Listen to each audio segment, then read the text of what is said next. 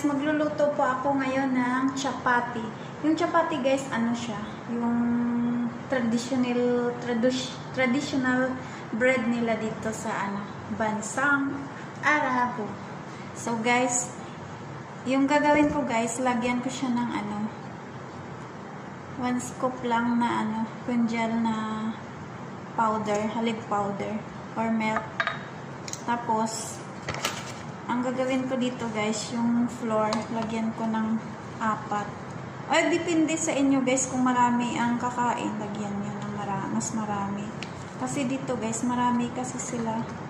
Kaya, konti lang nga itong 4 glass. So, 4 glass lang yung lulutuin ko.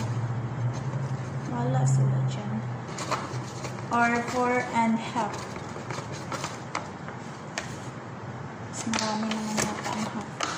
So, yun guys. Tapos, lagyan ko ng isang kutsarang salt.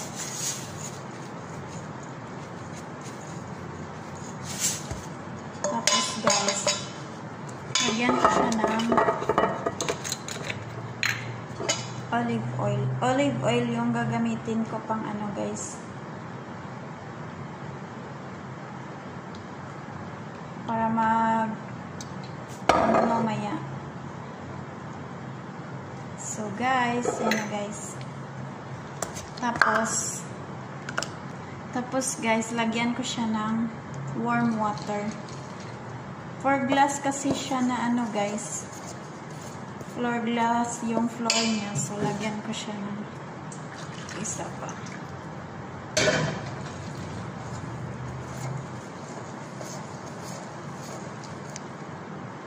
Yan na siya. Yan na siya guys. Na siya. Hindi kitaon. Ano ba?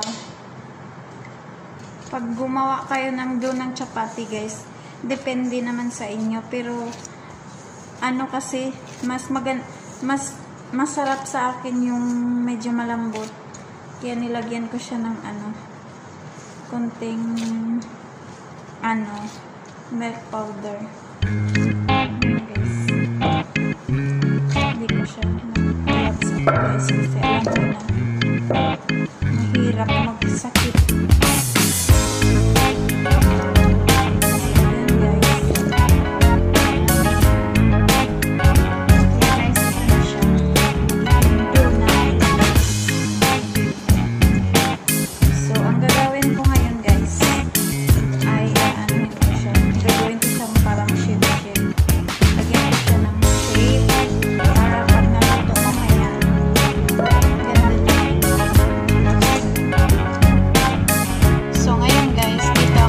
tapria guys, lalagyan ko siya ng ano, ng pin, ng ano siya, ng butter.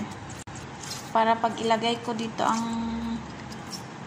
doon sa ano, hindi siya ma, ano,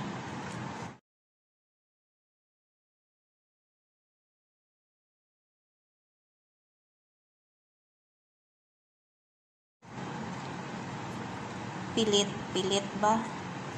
Didikit. So, ito na guys, so,